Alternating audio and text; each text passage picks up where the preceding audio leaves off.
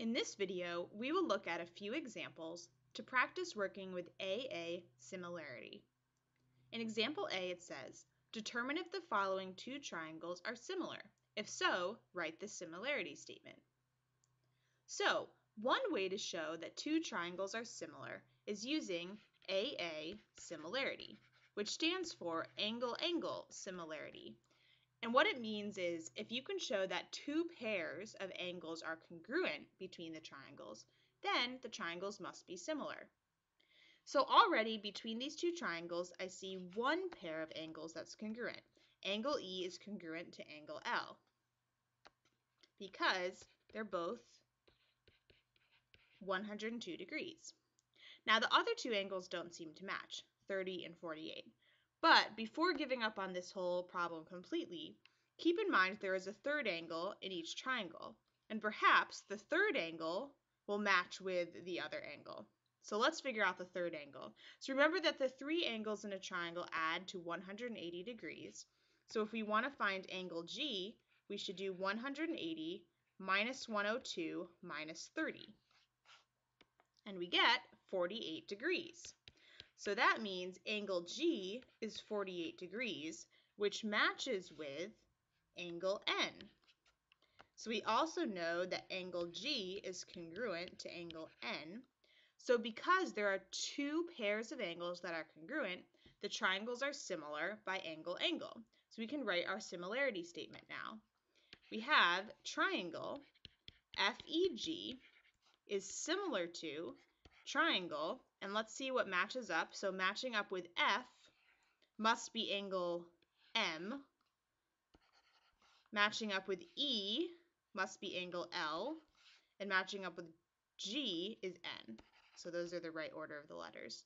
So triangle FEG is similar to triangle L MLN by angle-angle similarity. All right, let's go to example B. Determine if the following two triangles are similar. If so, write the similarity statement. So same idea here. I can see already that we have one pair of angles that are congruent. So if we can show another pair of angles are congruent, we'll be all set. So far we know angle E is congruent to angle B. So let's find the missing angle in this triangle, angle C. So we're going to do 180 minus 81 minus 60 and we get 39 degrees. So as opposed to example A, in this case, there are, are not two pairs of angles that are congruent because I have 39 degrees here, which doesn't match with the 40 degrees over here. So these two triangles cannot be similar because there's no way that there will be two pairs of angles that are congruent. So our answer would be not similar.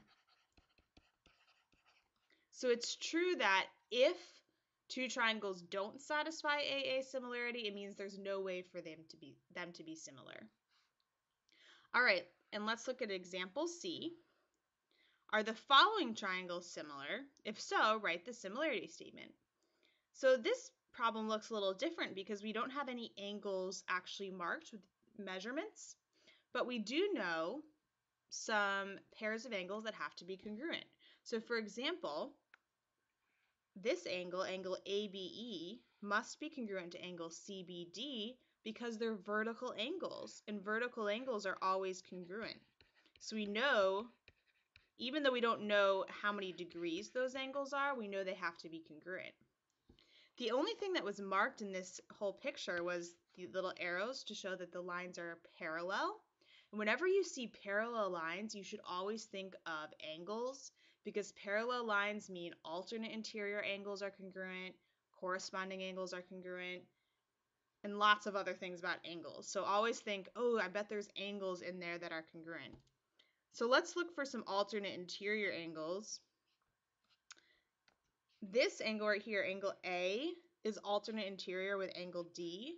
So that means that those two angles have to be congruent. And already we have two pairs of angles that are congruent, so that means that the two triangles must be similar. So we can write our similarity statement. Triangle ABE is similar to triangle D, because D was congruent with A, B and then C. And our reason is AA similarity.